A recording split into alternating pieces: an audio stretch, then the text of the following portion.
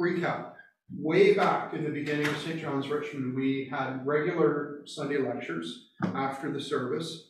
And we had uh, people from the congregation who, including clergy from time to time, that would speak on a whole bunch of different topics, book reviews, um, theological topics, just kind of anything that was of interest. And um, because of the pandemic and the complications of shifting into the hall three years ago, we haven't really had the opportunity to pull this together until now. And I'm really excited to welcome Norm Van Eeden Petersman as our first inaugural, re-inaugural restart um, SJR Sunday lecture speaker. Norm now Norm has been in his life a pastor in a Presbyterian church and uh, finished that position up this summer and became a staff member of Strong Towns. Strong Towns is a movement uh, started by Chuck Marohn, a uh, an engineer um, uh, for the city in Brainerd, Minnesota, correct? And he realized in his work as a city planner, zoning planner, engineer, that the city was not working for its citizens and it wasn't working financially. In other words, uh, many cities, both in America and in Canada, are in huge debt because of infrastructure that uh, just it can't it can't be fixed up in time as it decays. And there's fundamental errors in the way that cities have been developed since, since World War II. Strong Towns seeks to address that in a number of different ways. Um, Norm, I'm really excited that he, this is a passion for him. It has been a passion for him even while he was still a pastor. And what he's going to do for us in the next hour is try and integrate the gospel and healthy city life from the lens of justice and uh, human flourishing. So I'm really excited to welcome you as our first uh, speaker. The topic, the gospel in the city. Um, Norm, over to you. Yeah.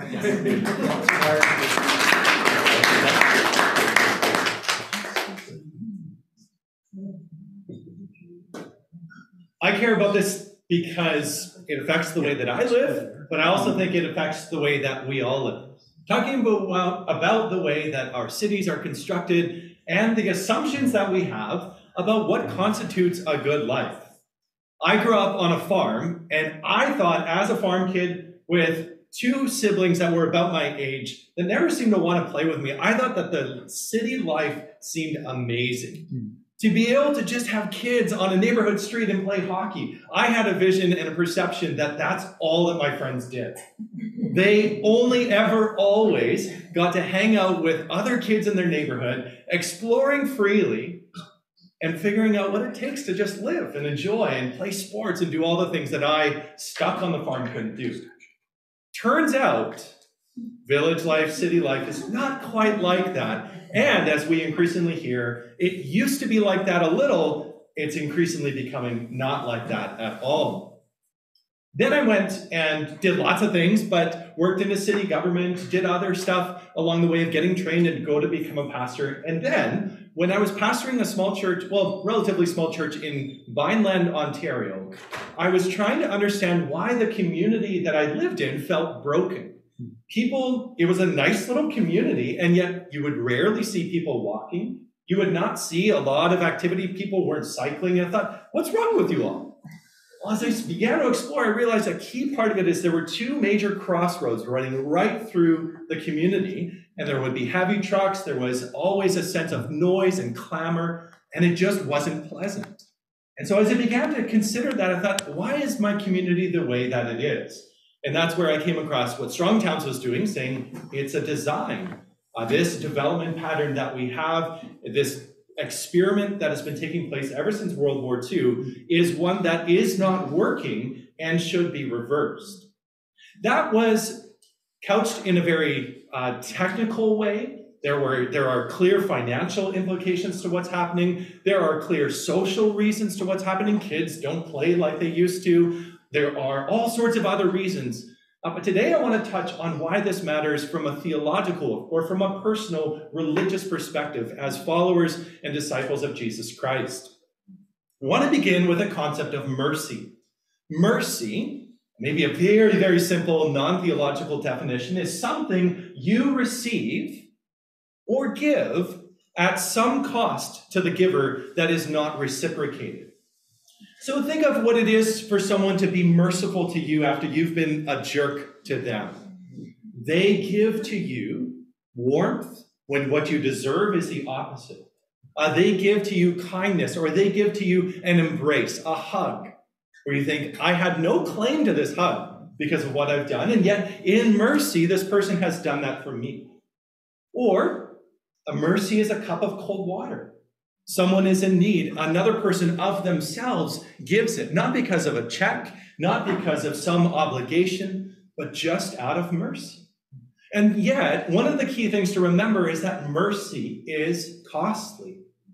The cost may vary. A cup of cold water, depending on which part of the world you live in, will be more or less challenging to acquire.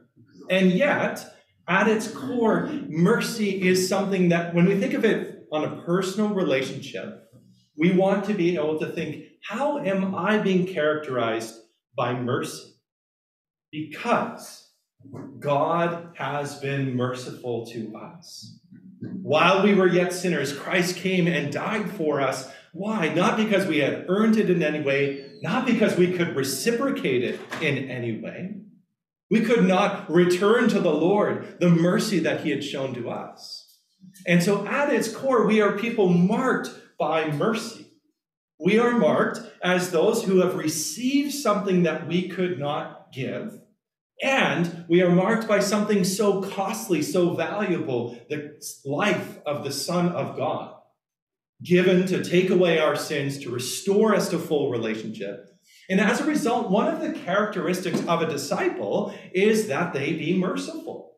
Remember when Jesus deals with his disciples, he says, Why are you squabbling? Show mercy to one another. Why are you looking at the sinful woman caught in adultery? Show mercy to her. Why Lazarus, I mean, uh, Zacchaeus, after his conversion, why is it that he thought, I'm going to go and make things right? But he did more. He, out of mercy, out of joy, said, I will make it up to you in manyfold. And the person to whom he was now restoring himself was suddenly the beneficiary of a costly gift from Zacchaeus. Think of many other instances, but above all, we think of Christ, the Son, showing mercy to us. And so if we lay claim and think of this enough. We say mercy transforms us. But what does mercy look like when we are developing communities? What does mercy look like when there is maybe a less clear cost to us? What we should do about roads? What policy should we have about housing? How should we protect land values? So we think, oh, all of those things have, have nothing to do with mercy, but you're here today to learn that no, it definitely does. There will be situations in our current capitalized, uh, self interested society really wrestles with this, where people will oppose many things because it will be costly to them. A bike lane will slow down their commute. An effort to develop a community gardening space may have a few smells associated with it. There may be some discomfort or even challenges related when, when those that are hard to house are located in a property close to you. Or when you yourself need that place, and yet you also take action to help others come into it as well. And so when we think of this, I want to think of it in the biblical context as well that when God created us, He placed us in a well supplied garden. One of the things that stands out in the Genesis narrative is how you could say a fully stocked cupboard that God gave to us. He didn't tell Moses or uh, Adam and Eve, "Tell you what, here's a bare plot of land. Uh, I have an idea. You make it happen." No, God made it happen, and then He said, "What? Go forth and multiply. Go forth and flourish. Fill the earth." From the very pattern, from the very example that's there. And yet, what is so striking is that one of the first things we read of what they did immediately after is they began to develop cities. They began to create places for people to gather, not just untouched wilderness, because the untouched wilderness is not the place of God's people. A land flowing with milk and honey requires someone to milk it and someone to steal it. You got to get the bees to do their thing, and you got to get the cows to do their thing. And you got to do it through human labor, through industry, through working together. And so it is so striking to us that by the time you get to Revelation 21, we have a vision of a heavenly garden. No, a heavenly city, a heavenly gathering place. Uh, the Bible describes a future in a city, which means we are all at core urbanists. That is, we care about the urban life. Well, no matter where we live, we may live in smaller places, apply these examples, these images in smaller ways or in, in more tight knit ways. In cities and the, the, hustle, the bustle, all of these things uh, apply to us as uh, we work on them. And want to turn to Isaiah chapter 58. Uh, I think this was previewed in the email that went out. But in Isaiah chapter 58, the message translation by Eugene Peterson uh, does a remarkable job of explaining uh, what it is that Isaiah, as a voice of the Lord, was showing to the people who were there. The preceding four verses were taking up the question of God's confrontation of the Israelites, saying, You guys are going about fasting all wrong. You guys are insisting uh, that if you do one day of fasting and do it humbly, sort of externally, then, then you're good. And he said, at the same time, addressing social problems in Israel. He said, You're exploiting your neighbor, you're harming those around you. We would apply, you're uh, pillaging the environment and robbing it of its resources, or you're taking advantage of situations that you know is, are not sustainable in the long run. And so God asked the people, Do you think this is the kind of day, the a fast day I'm after, a day to show off humility? That's the central challenge. Or for Christians as disciples? Do you think it's enough? Show up on Sunday. Or do you think it's enough to just have the right thoughts in mind? Well, this is the kind of fast day I'm after to break the chains of injustice, get rid of exploitation in the workplace, free the oppressed, cancel debts. These are all interrelational items. These are all about how God's people, particularly within the community of Israel, were to relate to each other. Notice the, each of them breaking the chains of injustice. That requires a merciful action to say, I will care about it and do something about it. It wasn't just that the person that was using the chains of injustice would be called to this task. No, we were all collectively called to that. Getting rid of the exploitation in the workplace. That was for masters, but it also would be the responsibility maybe of a family member brother or sister, you need to stop what you are doing. You are exploiting those that are vulnerable. Or think of freeing the oppressed. Even talked about costliness, canceling debts. The Old Testament contains in it, in the society that God established in the Old Testament era, a provision to regularly cancel debts. We ought to consider, in our own way of applying this, what would that look like in our own time. We don't live in the same theocracy that Israel lived in. And yet, these are patterns that display, maybe not uh, in its first glance, mercy, but when we realize at its core, this is what it is it's providing something to others at cost to ourselves, but also with great benefit to all. Each of these are things that cause the place that God's people are in uh, to flourish. Isaiah's prophecy goes on I'm interested in seeing you do this. Share your food with the hungry, invite the homeless poor into your homes, put clothes on the shivering ill clad, be available to your own families. Do this, and the lights will turn on and your lives will turn around at once. I think Jesus is picking up on this when he talks about the people of God, the people of faith, being those who are like lights set on a hill. Those that are visible, those are on display. Your lives will turn around at once. Your righteousness will pave your way. The God of glory will secure your passage. Then, when you pray, God will answer. You'll call out for help, and I'll say, Here I am.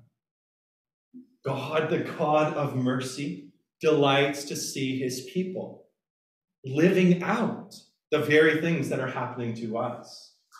Jesus tells the parable of the man who had many debts forgiven. And the obligation and the expectation for him was that he would go forth and do likewise. And similarly, we are to give that thought as well. Isaiah goes on, and this closing bit is the part that I especially want to highlight as we carry out uh, this next 15 minutes or so. He goes on, I will, God speaking here, I will always show you where to go. I'll give you a full life in the emptiest of places, firm muscles, strong bones, which for an agrarian society that would have been especially helpful. Bring in the harvest, wrangle the cows, steal the honey from the bees. A full life, even in the emptiest of places. I grew up in southern Alberta in a place called Palliser's Triangle. It's named that because a man named Palliser looked at the land said, Nothing will grow here. What has happened since is flourishing, life in the full, in the emptiest of places. Think of many other places around the world. Uh, modern day Israel, for those that have traveled there, you will see stark contrast between places where there's verdancy and, and abundance and flourishing, although with forms of exploitation as well as a footnote. But at the same time, you see the contrast, these places that are even the emptiest of places, and the Lord says, I'll give you a full life there. Now, this was the anticipation of God's people for a season as they returned to the Lord, as the Lord ministered to them in his mercy. But it also applies to us as we say, we live now post Christ, fulfilling the great demand of the law for us. But we are now waiting for Zion. Soon and very soon, we are going to see the King. No more crying there. We are going to see the King. But in this time, we wait.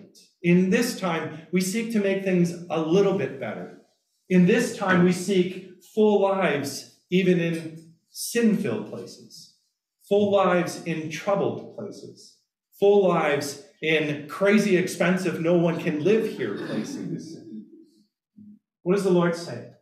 When you set your heart on serving others, on living with mercy, you'll be like a well watered garden, a gurgling spring that never runs dry You'll use the old rubble of past lives to build a new. Think of that in the context of continuing to build out our communities, strengthen what we have using old rubble. That's a description of the old rubble happened because of war. Old rubble happened because of decay, seasons of hardship. And what does the Lord say? Even seasons of hardship can be overcome.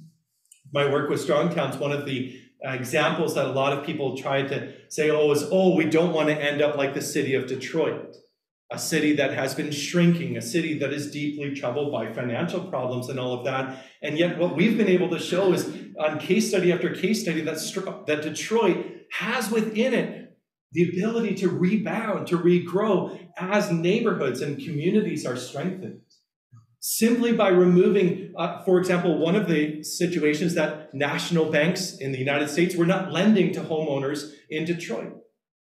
Well, then you're going to get rubble, you're going to get decay. And the turnaround is there were community groups that said, fine, we'll lend money. We'll lend money one to another. If I have a secured loan, I will then secure a loan for you. I will help. And you're beginning to see communities being rebuilt rather than fleeing or going into a new exile using the old rubble of past lives to build a new, rebuild the foundations from out of your past. What if the people of St. John's, if each of us in our own way became known as those who can fix anything? Now, Sean is maybe closest in terms of being a handyman, but I think for all of us, we can think is there some brokenness around me that I can strive to be fixing? Some struggle that people are going through uh, that I can encounter? Uh, to restore old ruins. There's a cherishing of what is past there, while at the same time rebuilding and renovating, making the community livable again. Making the community livable again. I want to apply this in the next 10 minutes uh, in terms of what it means to fix anything, restore old ruins, rebuild and renovate, and make the community livable again. To think of it in the context of housing. An act of mercy is to be welcoming. It is at times costly to welcome someone. People like good neighbors, but they're not always so sure about bad neighbors. And if it's in the mix, and you have a way to subtly influence it so you only get good neighbors, which happened in our cities by mandating a certain width of the property that you live on. City planners, egged on by neighbors, said if we make the properties large, then only those with funds sufficient to buy that large property will be able to move in. And tell you what, what we'll do is we'll make sure that we do not allow anyone to put more than one house on that property. And so if they want to have their brother move in from a country that has they've immigrated from, used to be from Ireland or from Germany, uh, these days it's from other countries. It seems no matter what generation, there's always an out group. Large lots, single homes on there. Let's make sure that we are also excluding certain types of businesses. Vancouver, for many, many, many years, had strict regulations as to where laundromats were allowed to occur. It wasn't because people didn't get their clothes dirty, it's because Chinese immigrants ran the laundromats. And the context of these bans and these exclusions was specifically designed to keep certain communities in certain places. Again, I mentioned I'm more familiar with the Vancouver history than Richmond's to a certain extent. But in Vancouver, you had situations where certain neighborhoods were dedicated for Black community, the Black community to live. And then, conveniently, from the perspective of those that were racist and seeking to instill certain patterns within a city to preserve uh, privileges, they ran highways through it. Or it didn't even get fully to it. The Granville Expressway didn't even get fully built, but the neighborhoods that it was supposed to go through were still torn down. Uh, you can go visit Hogan's Alley as a dis- uh, depiction of this. And so, how does this relate to what we can do? We can certainly ask ourselves Am I welcoming, not just generally in the sense of if I meet someone, do I smile or do I look at them with kindness? Do I see them as a fellow brother or sister? But do I also institutionally? Have I let my city council know that I am in favor of more housing in my community? If there are hundreds and hundreds and hundreds of families struggling because they're burdened by rent costs, if there are hundreds and hundreds and hundreds of people that have been priced out of where they were living and are now slipping into homelessness, am I letting my community know, and my leaders in particular, I want more housing? Am I just waiting for the situation for just the right project to come along? Or am I just letting them know I am for these things? I am actively welcoming new types of housing. It doesn't have to be super tall towers. It can be a three story walk up apartment with ground level units for seniors to live in, so that way it's accessible for them, with two stories of family housing above it. Suddenly, that what used to be one property with one house on it and a, a homeowner that lived here only six months of the year now is a place for four families and a couple of individuals. Think of townhouses. Think of all of the different types of housing uh, that we have. One of the things that we're doing in Delta is we're trying to make people aware that apartments, what we traditionally would refer to as apartments, rental apartments, are banned in well over 90% of our city. So wherever we have housing lands, 90% of it is off limits. What does that do when there is scarcity? Economics 101 it raises the cost. And so, even to build a small portion of apartment housing is now way more expensive than it would otherwise be. And so, we have a situation in Delta in our, our community where we have one road called Evergreen Lane, and it has a whole bunch of older, affordable rental apartments. And they're being bought and they're going to be torn down and replaced with what is in all likelihood not going to be affordable, available rentals. Why? Because the very same person that would consider purchasing an apartment there, I mean, would consider building an apartment, I should say, is forbidden from buying the properties nearby, is forbidden from building around, but instead must go to that one place where there are apartments and do their work there. And so, as a consequence, a single family home is preserved while a multi-family unit is destroyed. even though the multifamily unit costs seven times the amount that the single family home would. Different types of housing need to be embraced. And if we think of what it takes to rebuild and renovate, notice not just restoring old, old ruins, leave them as they are. The old, ancient world knew nothing of that. They kept a little bit of Solomon's temple, but the rest of it was new. They kept a little bit of things. They, they remembered certain guide stones. Remember Moses when they crossed the Jordan, or uh, Joshua when they crossed the Jordan River. They established these, these pillars, these towers as continued remembrances. We do well to do that. These are, are public markers of heritage. But at the same time, we don't say, let's leave our communities as they are. And so we also address existing rules which privilege the wealthy and expose the vulnerable uh, to risks. We say in Delta, uh, our neighborhoods are changing. They are profoundly changing because market changes and because time is passing. We have to choose will they become more exclusive and expensive, the path that they are currently on, or will we change these rules to allow them to be more inclusive and more diverse? So that way you can have a diversity of different housing types all around. What about on our streets? Those who can make the community livable again. Said mercy means making room for the vulnerable, which in this context means those not in 3,000 pounds of armor.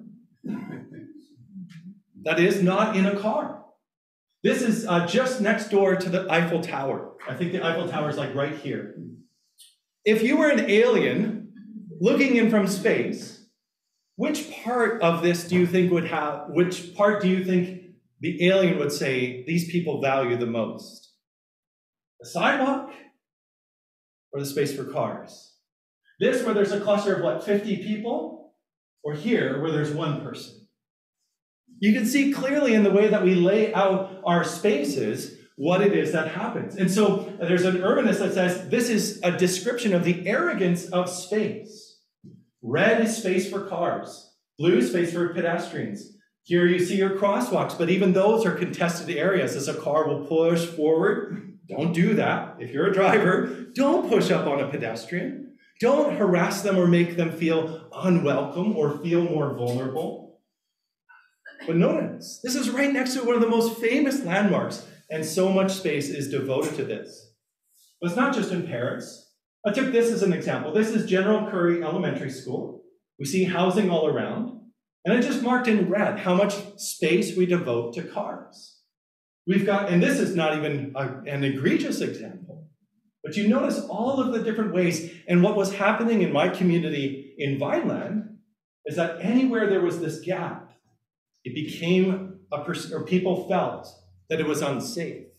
Kids might play within this little period, but they would not, even this school. Many kids are not walking to school or biking to school because this and number three road here and number two, uh, four road just a little ways further, all of your major crossroads become barriers. People talk about children being raised in archipelagos or on islands, that they have a little island and then they need to get in a boat in order to traverse to the next place. Or I, I, like to say, we think of our cities almost as if they are outer space colonies. And in order to get from one place into the next, I must get into my space movement suit and then get into my vehicle and make my way. Because we've made it unsafe uh, for children, we've made it unsafe for the vulnerable, we've made it a challenge uh, for others. And so, what do we mean mercy compels us to examine how we might change for others' well being. I would need to get a sticker, and then I need to live up to it for our car that says neighborhood pace car. A pace car in a race is the car that goes around the track and all the other cars have to keep speed with it. I would encourage each of you to get a sticker. Be the neighborhood pace car. Slow down where you live if you are driving. Or another thing you can do for those that are able, for those that are able to do so, is make a point of saying, Can I replace certain trips with a bicycle trip or with a walking trip? Uh, maybe I'll purchase something nearby rather than going at some distance to some further place. Or challenging us, thinking of what it means to make our communities livable again. Do we caution ourselves when we're buying online? With a whizzing around of delivery trucks and all of the different things that are so convenient and yet come at a considerable cost. And so, livable places. Uh, Isaiah says we seek to make the community livable again. This is a situation for Isaiah's time where they had to do so after war. War breaks out, destruction. And what is Isaiah prophesying? You will be those that make communities livable again. The rubble, broken down, will be made into something fresh again. We say, oh, yeah, if the big one hits, we're going to be all in this together. We're going to rebuild Metro Vancouver. But how do we rebuild after greed has done its dirty deeds for the last, well, I could say this 100 years, 200 years. I know it's a long term problem, but we see greed especially in the way uh, that are land use policies, policies that deliberately exclude certain groups, policies that since World War II were designed uh, to build cities in a different way around the scale and speed and distance of an automobile instead of the scale and speed and distance of a person on foot. That has been a profound change to the way that our cities are built. On foot, you would see, and you see this in historical patterns of development, cities would build in a cluster. There would be more value concentrated in the middle, and then around the edges, the fringe, you would have the development of low cost things. There would be less services on the fringes, a 15 minute walk from the core. But then in time, you would see the next 15 minutes from there begin to develop its own little cluster. People say, I need that in my community. You had, uh, my, my boss talks about his town had 26,000 people in it. They had five barbers uh, just 50 years ago. Now they have zero because everybody drives to the city to go get their haircut. And many other situations like that where everything becomes built around the scale, the speed, and the, si- and the distance of the automobile. And so, what I am passionate about with Strong Towns is that this is an ill fated experiment to build around the needs of the automobile and the assumption that everyone will be in a vehicle or have access to one to get driven around. Cost of ownership, I think, is climbing up to $10,000 a year for an individual to have and operate a vehicle. Does that mean that we want the first $10,000 that we earn each year or that we receive in government supports or other things like that to be expected to come off, or else we live a substandard or, or troubled, or not necessarily trouble, but challenge, more challenging life. We want to make the community livable again. We want to begin to address these things by supporting housing, but also supporting efforts to introduce multiple ways of moving on our streets bike lanes, pedestrian paths that aren't just a little whisker on the side of the road. Situations that we have in Ladner is our hydro poles, rather than on the road taking up a parking space, they get stuck in the sidewalk. You probably see this in Richmond too. And then why could it not just be in the road? It would lose half of a person, uh, well, about half of a parking space would be taken up. And then it gets stuck in the sidewalk to be a burden for anyone in a wheelchair anyone pushing a stroller. yeah, that's right. And so, after this ill-fated experiment, properties like this, the development pattern like that is banned. The development pattern of the suburbs, notice opportunities for connection, opportunities for knowing your neighbor, opportunities for looking in on each other. Where's the orientation of this? There's one window there, a peeper window. You're not supposed to use it. Make sure it's frosted. Everything is out and away. Everything is disconnected.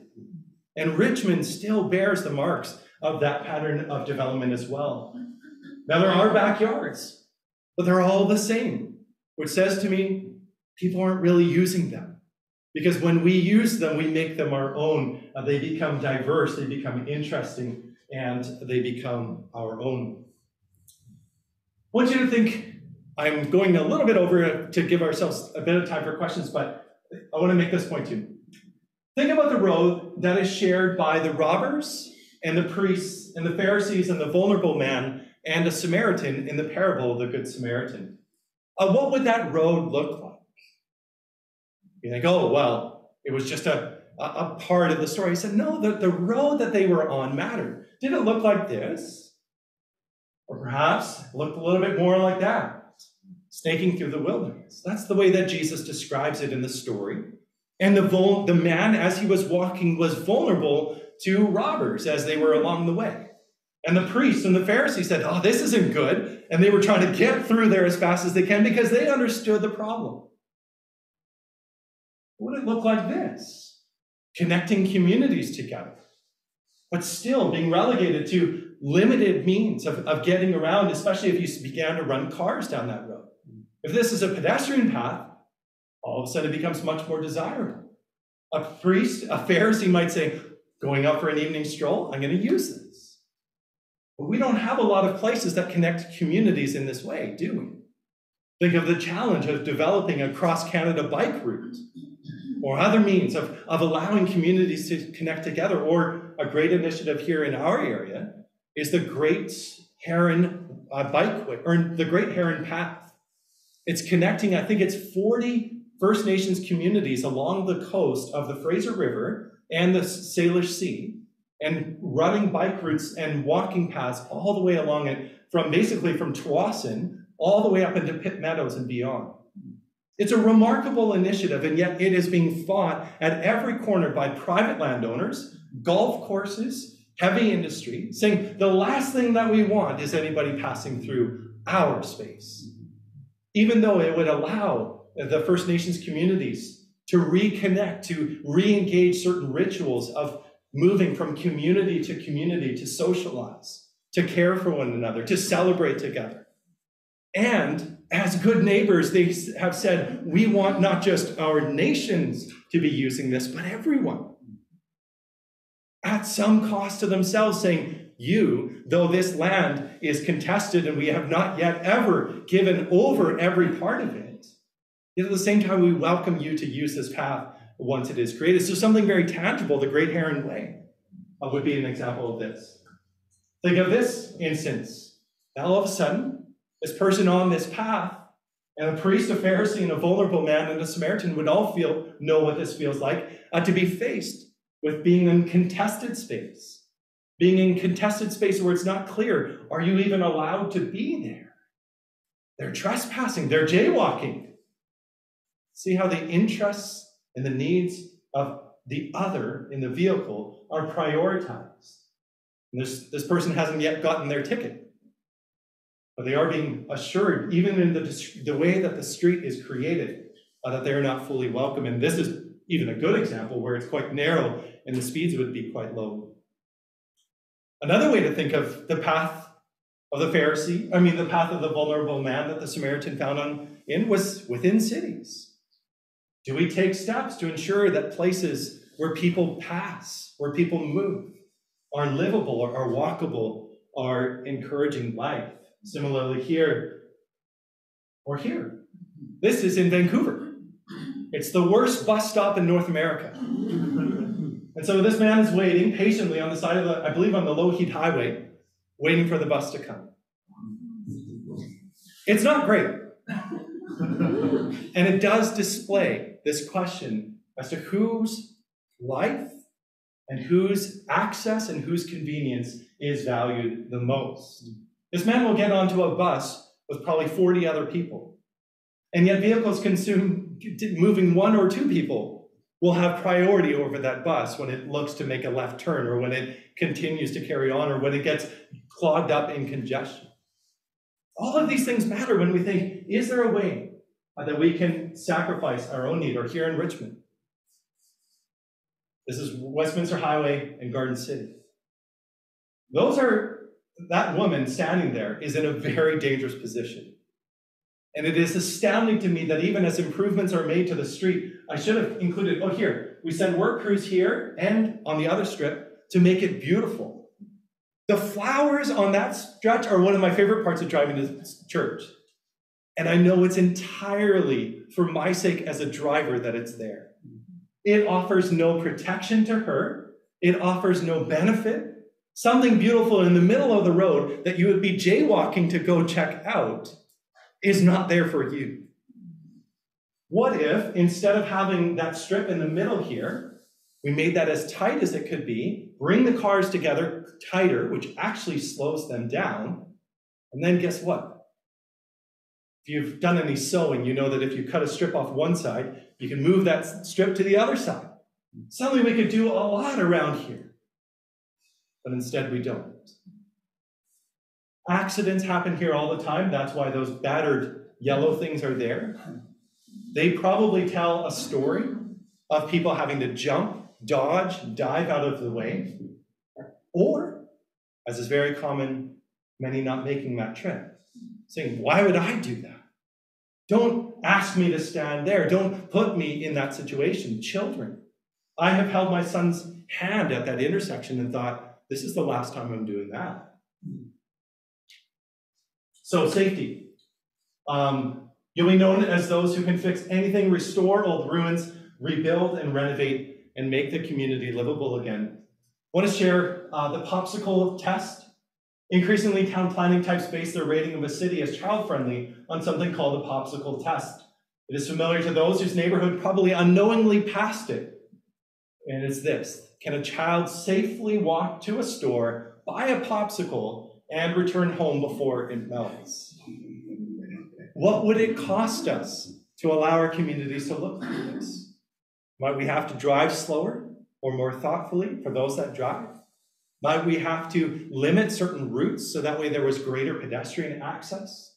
Might we have to change our building types so that way we would have clusters where families live and, critically, stores nearby? Most of our stores are segregated and placed in areas that are we call power centers. Powerful for who? Certainly not for the child seeking a popsicle. I'll close with this. In the Christian tr- tradition, this is a quote from uh, a guy Michael Natelli. The kingdom of heaven is a city.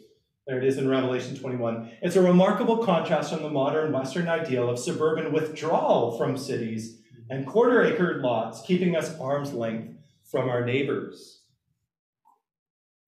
The kingdom of God is lived in proximity. Coming back to the question of how do we know our neighbor? How do we love our neighbor? How do we serve them? It belongs to those like children, we're told. Heaven, I love this phrase, heaven is a child friendly city. And if that's true, then it should be on earth as it is in heaven. What does Jeremiah 29, verse 7 say? Seek the welfare of the city where I have sent you into exile, and pray to the Lord on its behalf, for in its welfare you will find your welfare. That's why, as we close, mercy transforms us. Something you receive or give at some cost to the giver that is not reciprocated. Ask, are there ways that we can be a part of reshaping the fabric of where we live uh, for the benefit of others? And so that's what I have for today. But we have 15 minutes to take time for questions or even more critically for discussion. Uh, there's been something that's been uh, triggered for you where you think, oh, I'd love to share this or reflect on something. Uh, let's uh, take this time to do that together.